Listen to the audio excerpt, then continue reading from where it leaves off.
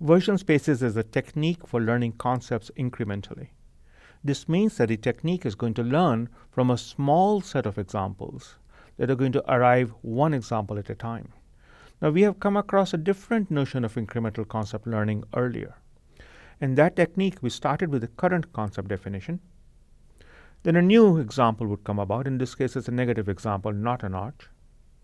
And then a new concept characterization would be constructed by revising the concept characterization that we began with. The revision was such that the new concept characterization was a specialization of the old concept characterization such that, that the example got excluded. So negative examples led to specialization, positive examples led to generalization, and the ordering of these examples was important. We want the first example to be a positive example of the concept to be learned we want the order to include both positive and negative examples. That technique was very useful when there was a teacher available who would give you these examples in the right order. Now, the order of examples was very important in that technique of incremental concept learning.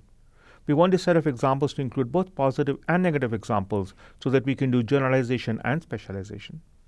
And we want each example to differ from the previous concept characterization in only one important feature.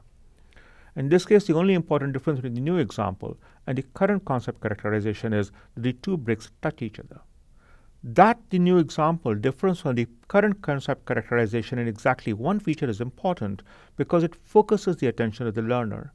It tells the learner how to do the specialization or the generalization so as to include the difference or to exclude the difference. This technique is very useful if a teacher is available that can give the examples in a good order, in the right order, so that effective learning can occur. In that technique of incremental concept learning, we also consider the role of background knowledge.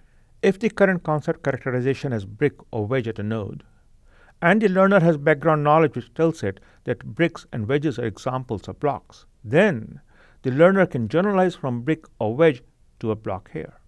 But now we can ask two questions. What happens if these two factors, the presence of a teacher who gives examples in a particular order, and the availability of this background knowledge, tells the learner exactly how far to generalize? In general, in learning, deciding how much to generalize is a big problem. Learners tend to either overgeneralize, in which case they come to incorrect answers, or they tend to undergeneralize, in which case the answer might be correct but not very useful.